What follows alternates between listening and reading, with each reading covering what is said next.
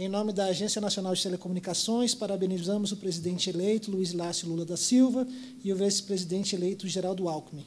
Como primeira agência reguladora do país e às vésperas de complementar seus 25 anos de história, a Anatel se coloca à disposição da equipe de transição, seja por meio do fornecimento de informações setoriais e regulatórias, da colaboração de seu corpo técnico ou de quaisquer outras contribuições que possam vir ser necessárias nesse momento. A transição pacífica e republicana entre governantes é pilar fundamental de nossa democracia. É também indispensável para o desenvolvimento econômico e social e para o ambiente de negócios de setores regulados, como é o caso das telecomunicações. Nesse sentido, louvo o trabalho da Justiça Eleitoral ao garantir lisura e tranquilidade nos processos relativos às eleições de 2022. Louvo também a atuação das prestadoras de telecomunicações, que, com a intermediação da Anatel, cumpriram prontamente as decisões emanadas pela Justiça Eleitoral e garantiram a conectividade necessária, colaborando para o fortalecimento dos processos democráticos.